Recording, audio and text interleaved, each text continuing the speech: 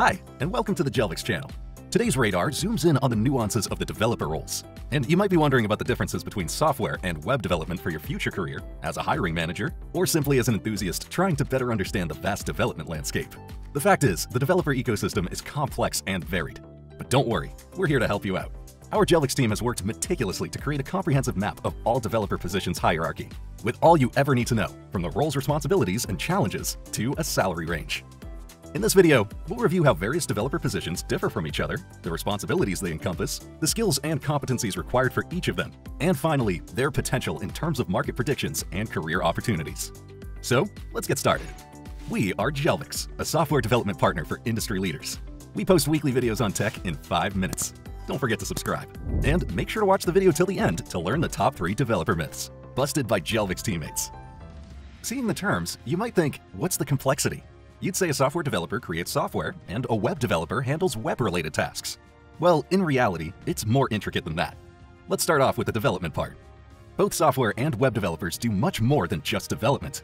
Their responsibilities also include analyzing project requirements, design, coding, testing, debugging, deployment, maintenance, keeping and updating documentation, and stakeholder alignment with the project's progress.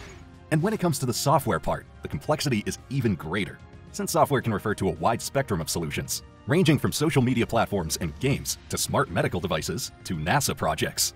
Therefore, software developer is a broad term encompassing a variety of other more specific roles within the development landscape, such as a web developer, mobile app developer, game developer, embedded systems developer, desktop developer, DevOps engineer, machine learning engineer, security engineer, data scientist, quality assurance specialist, mainframe developer, smart TV developer, and system developer.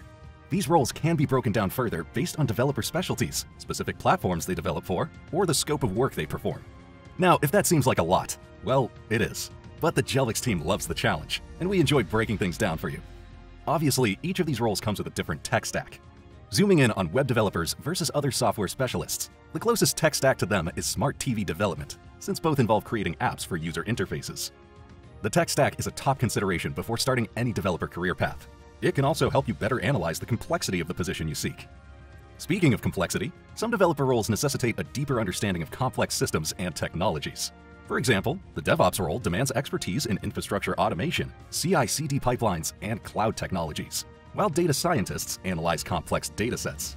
Machine learning engineers deploy scalable AI models using advanced algorithms, security engineers address complex cyber threats, and system developers design intricate software systems.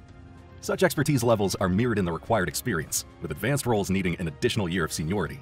However, the difference is also evident in the salary range. The annual salary of medium complexity positions like web developer ranges between $55,000 and $70,000 on the lower end. Meanwhile, more advanced roles start from 75,000 and reach up to a whopping $170,000. That's like the cost of an entire house every year. Now, with many role-related aspects already covered, the question remains, how can you identify a perfect fit developer position or a candidate for it? Jelvix has the answer. First, front-end web developers are all about visually engaging interfaces, hence requiring extra creativity, design sense, and the art of creating frictionless experiences across platforms. Back-end web developers, in turn, must be armed with analytical thinking to build robust and scalable systems. Full-stack developers, while bridging these domains, require high versatility and problem-solving powers to navigate the complexities of balancing various development tasks. Now, these requirements vary widely among other software developer roles.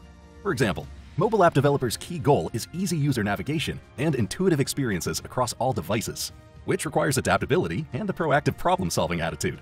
Meanwhile, embedded systems developers are required to have a deep understanding of hardware components and microcontrollers, possessing strong troubleshooting abilities to diagnose and resolve system issues.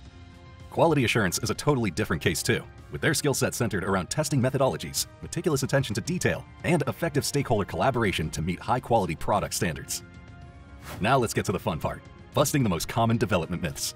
Let's start with the myth that web development is easy. In fact, building professional websites and web applications requires a combination of technical skills, creativity, problem-solving abilities, and attention to detail. Mastering them all takes time, practice, and dedication, which at times is not easy at all. The second myth is that becoming a web or software developer requires a computer science degree. While a computer science degree can certainly be beneficial, it's not a strict requirement. And on top of that, many developers are actually self-taught. Another myth is that software and web developers work alone. Contrary to popular belief, development is often a collaborative effort, with the active involvement of other developers, designers, project managers, and other stakeholders to build and maintain software solutions. Well, that's it for now.